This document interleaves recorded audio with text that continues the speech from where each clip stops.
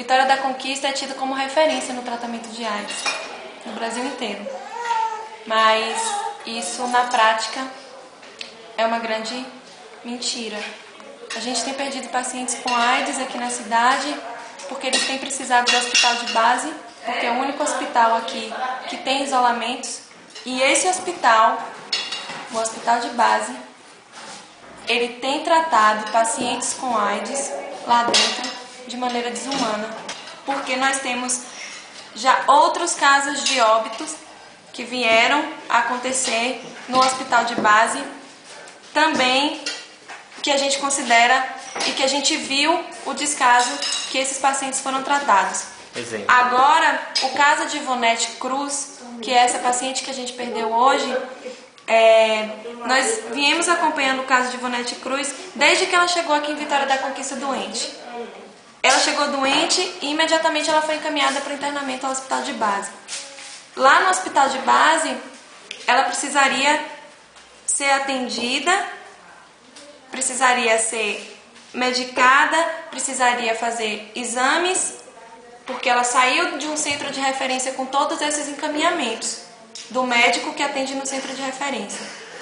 Ela voltou do hospital de base, ela recebeu alta do hospital de base mas ela chegou aqui na Associação Renascer, porque foi para foi cá que eles mandaram ela, sem nenhum papel. Ela simplesmente saiu do hospital de base sem nada.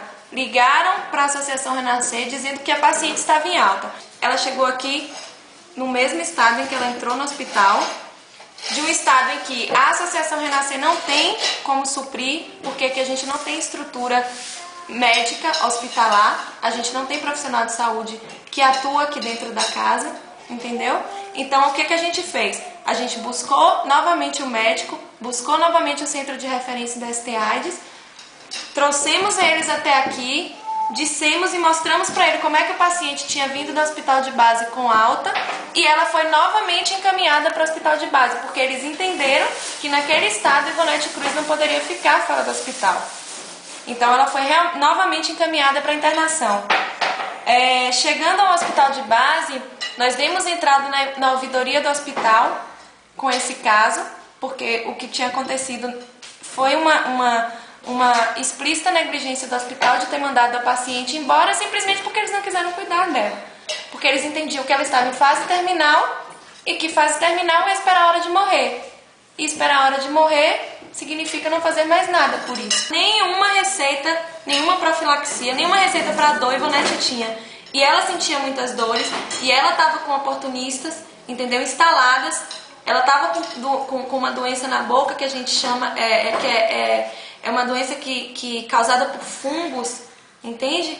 Ela não podia se alimentar. Aqui a gente não tem sonda, a gente não pode aplicar sonda no paciente porque a gente não tem essa estrutura. Então, o médico que, que novamente encaminhou a Ivonete mandou um encaminhamento deixando, esclarecendo muito bem como é, que, como é que Ivonete deveria ser tratada lá dentro.